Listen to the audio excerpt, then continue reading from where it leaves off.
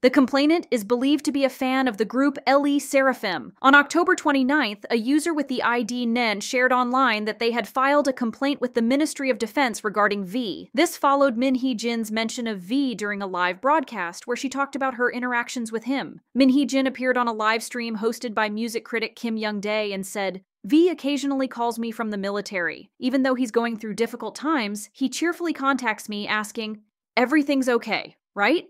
When the issue first arose, he worried about when he should reach out. She added, on my birthday, V sent me a message early in the morning from the military wishing me a happy birthday. He is such a cheerful and lively person. I was really touched. It's not something you can do without a kind heart. I was very grateful to him. Regarding this, the complainant filed a grievance titled Soldier V sent a text early in the morning in which they stated the date V sent the text was December 16th, 2023, 5 days after his enlistment on December 11th, 2023, and he was still a recruit at the time. This constitutes a serious violation of military law, and I suspect that because V is a famous K pop idol, the officers may have turned a blind eye to his phone usage.